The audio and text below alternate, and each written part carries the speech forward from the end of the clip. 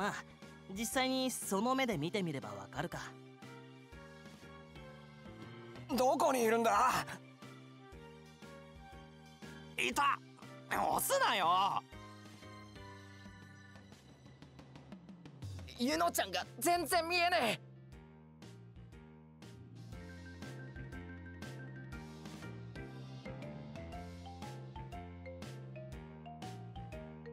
え！なんだこれ？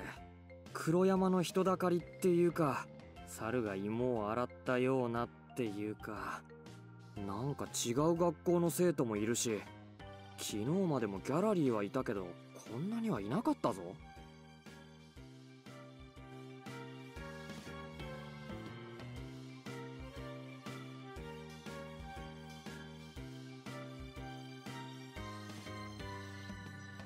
それはなこいつのせいだよ。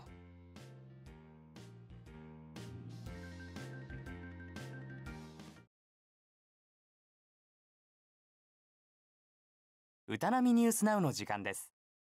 今日は明るいニュースが飛び込んできました。歌波市の高校生が今年も全国大会へ挑戦します。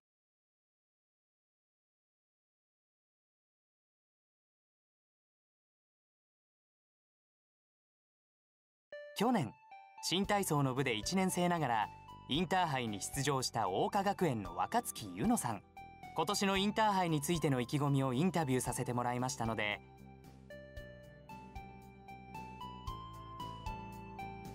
えっと桜花学園2年の若月優乃です。よろしくお願いします。去年は素晴らしい演技で見事インターハイに出場した。ああれは偶然っていうか県大会で強い先輩がたまたま怪我で棄権してたからってのもあるんですけど。また随分と謙虚ですね。去年の演技の映像を拝見させていただきましたがすごかったじゃないですかいえいえ私なんかまだまだです。見返すと改善したいところがいっぱい出てきて今必死になって練習してます。もう練習されてるんですね。今年も出場期待していいですか？そうですね。今年は出場だけじゃなく1位を取れるように頑張ります。それと新技も開発中ですから新技。それはすごいですね。期待していますね。以上若月ゆのさんでした。ありがとうございました。というわけで期待の高校生のニュースでした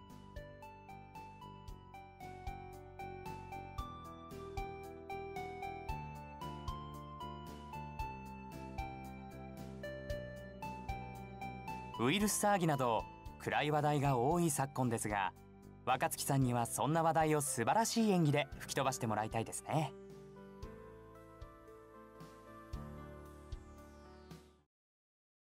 それでは次のニュースです。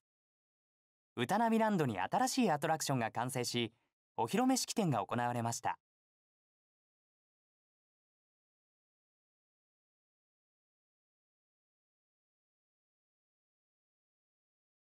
なんだよ今のニュース。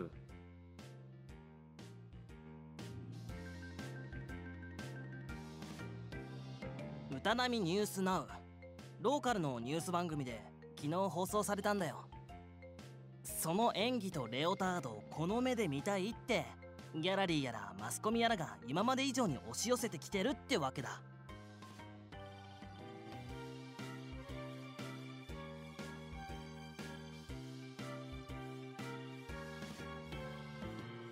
知らない間に随分大ごとになってたんだな。この状況で見学なんて無理だろ？そういうわけで今日のところは帰ろうぜ。ああいやでも。なんだ？見ていくのか？ああなんかあいつがいきなり遠くに行ってしまった気がして。そっか。幼なじみとしちゃいろいろと思うところがあるんだろうな。じゃあ俺がいたら野暮だろうしこっちは先に帰っとくよ。悪いな。教えてくれてサンキュー。おう今度昼飯おごれよ。ってゆ ダメだ。人の波が邪魔して全然。あれ？ゆのちゃんいつの間にかいなくなってるな。休憩じゃね？休憩か確かこのままここにいてもあいつには会えないし。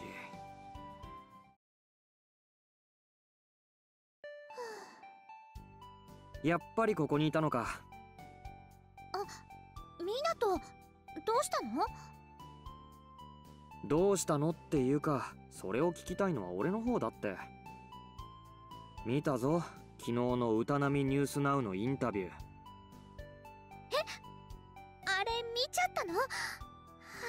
しいいつ受けたんだ？あんなインタビュー。うん1週間くらい前だったかな。カノンが学校に戻ってくる前で顧問の先生に学園のためになるからって頼まれて断れなくて。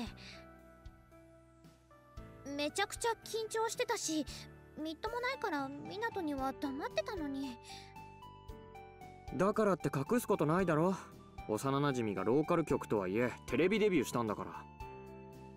だからそれが恥ずかしいんだってば。新技を開発中ですとか言ってさ。あれ顧問の先生にも怒られちゃったんだよね。え？じゃあなんであんなこと言ったんだ？いやーアナウンサーさんが盛り上がること言ってください的な目で私を見てたから。ああ。ばうん分かってるから言わんだからね。今慌てて本当に新技を開発してるところなんだ。これなら嘘じゃなくなるでしょ？そんなことできるのか？できるかできないかじゃないの。するの？やらなくちゃ。また随分と燃えてるなそういうわけで猛練習中なんだ。今日も何時に帰れるかな？お前はいろいろ頑張ってるんだな。湊も私を見習って頑張るように。誰が泣くか誰が。でも冗談はともかく休憩時間に湊なんだよそれ。うーん自分でもなんて説明したらいいかわかんないけど港分を充電したとかそういう感じだよ。って俺は電池かなんかか？そうそうバッテリーだよ。やっぱり港のそばにいてこうしてのんびり話してるのが一番落ち着くな。言うの？さてそろそろ練習に戻りますか。顧問の先生やさつきさんも待ってるしね。頑張れよ。お港に応援してもらえたら100人力かも新技の湯のスペシャル。今日こそ完成させるぞ。お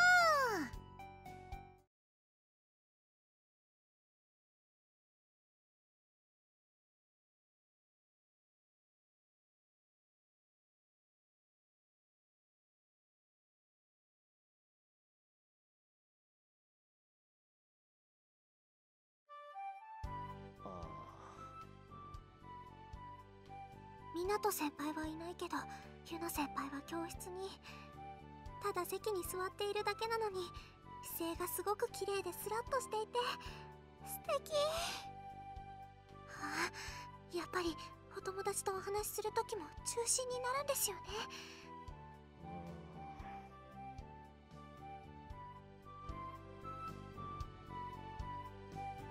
まあ大きな声を上げてないし誠みたいに本人や周りに迷惑をかけてないから。べ。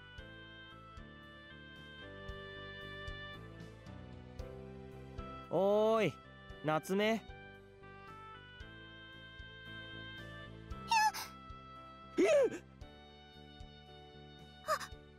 先輩びっくりしちゃいました。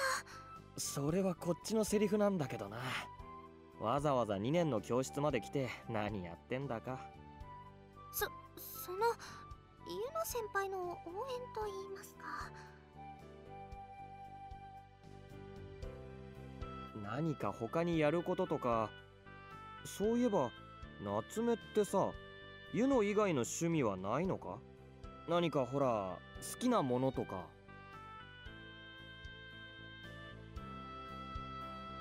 私のですか？えー、っああまあ夏目が受け狙いで来ると。とぬいぐるみとか好きなんです。こうギューってできる可愛いぬいぐるみとかと一緒に寝たり。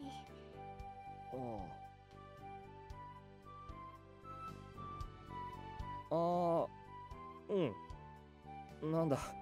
笑うどころか。かからかわないでください。もう。子供っぽいかも。っ て子供ってより女の子って感じだぞ。風花もぬいぐるみは好きなんだけど意外に男っぽいところがあるからな。風花ちゃんも？そうそう。前に顔を合わせたよな。とっても可愛い妹さんですね。あの時はあまりお話できませんでしたけど。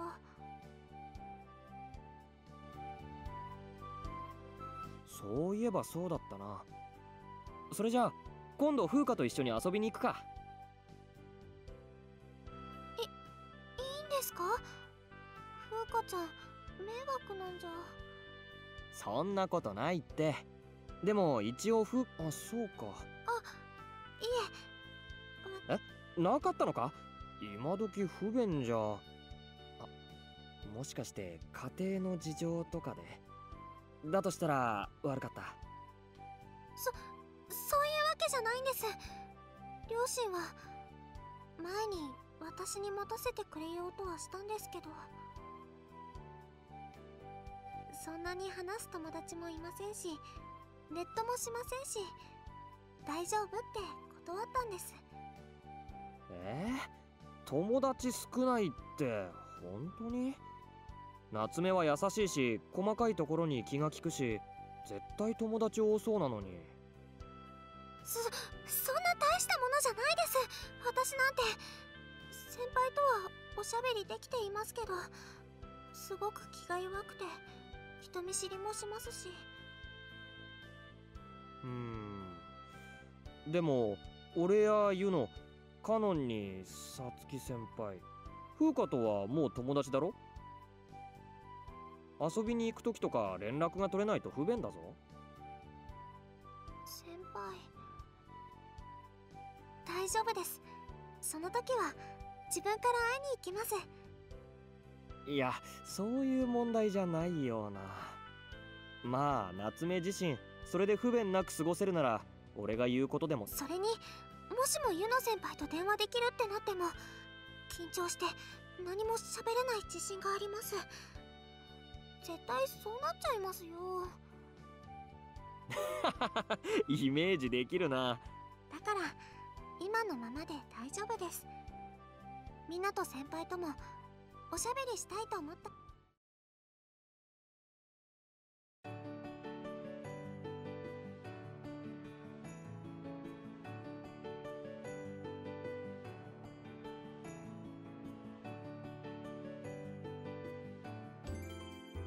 もう一度確認をするぞカノン。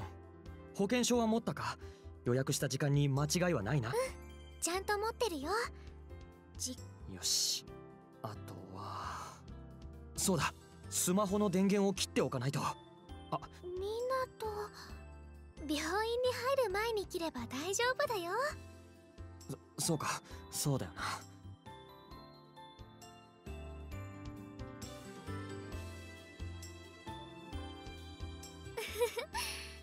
私よりもみなとが緊張してるね。それはまあお前を見てればわかるけど。意外と心配性だよねみなとオーケー焦らず。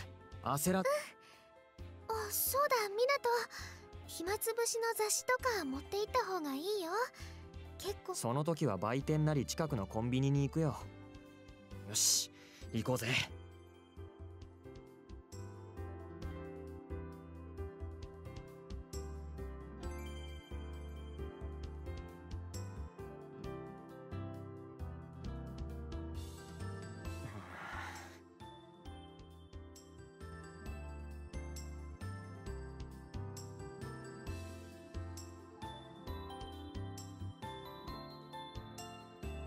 いやいやいや落ち着け。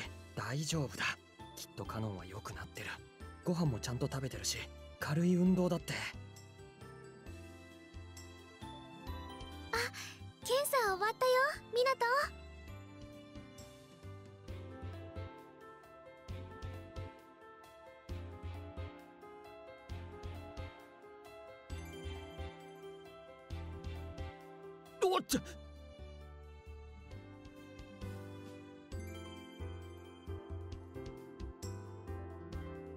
今のは忘れてくれ。何の話？あいいやいいんだ。見なかったか？あるいは気にならなかったならどうでも。どうだった？ってまあ結果が出るまで何とも言えないか。検査だからね。いや自分で言うのもなんだけどさっきの慌てっぷり。ううん。それでも私検査ってねいろいろと考えちゃって。でも今日は全然平気だった。ミナトがいてくれたからだよ。カノンミナトのことちゃんと頼りにしてるんだから。ああ。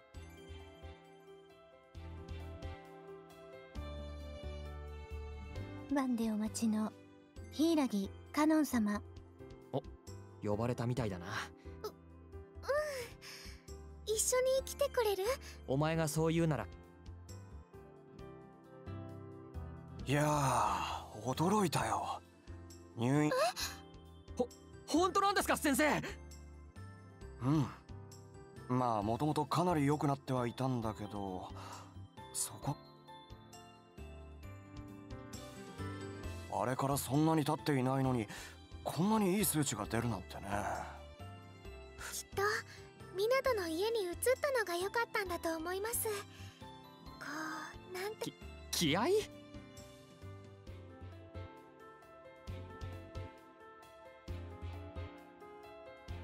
ああなるほどそういうのはあるかもね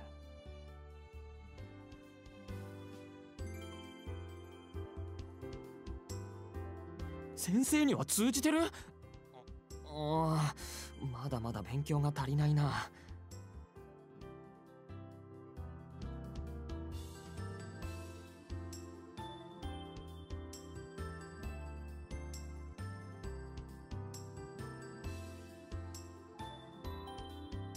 ほらあれだよミナト病はきそれ気力で治るって意味だったのか？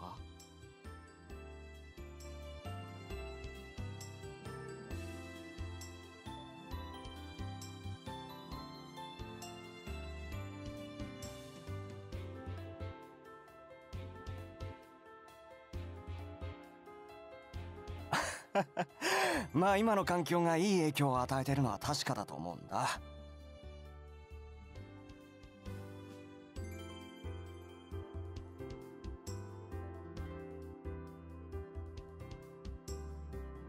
いやー本当によかった。あ？の珍しい緊張が帯びられて私としては楽しかった気。にするな。一緒に暮らしてるんだから。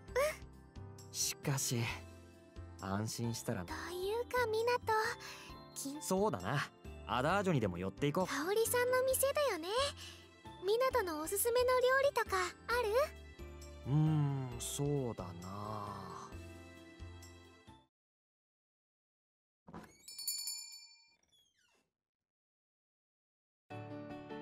こんにちは。いらっしゃいませ。ええ。ちょっと病院にカノンと行った帰りなんですよこんにちは。どういたしまして。と突然何を言い出すんですか。そういうんじゃないですからほんそそれに家には風花もいるんですから。三人。あらあらそうだったわね。お姉さん。で今日はデートの帰りなんだっけ。でデートって。そうだな。ところで香織さんあるある。ごめんなさいね。それじゃあご。はあ。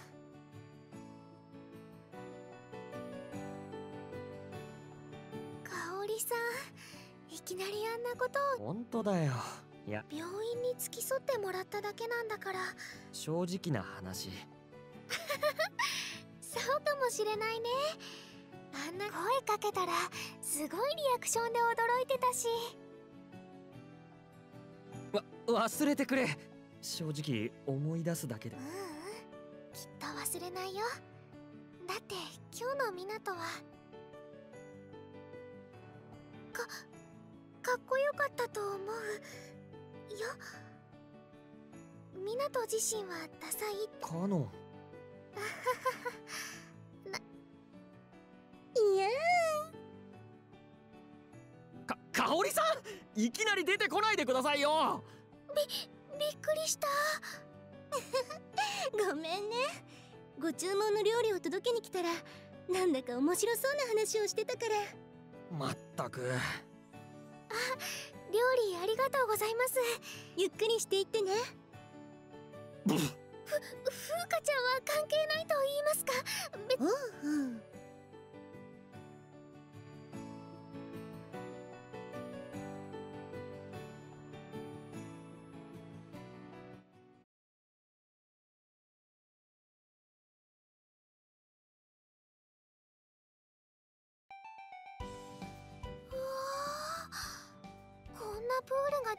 なんだね。全然知らなかった。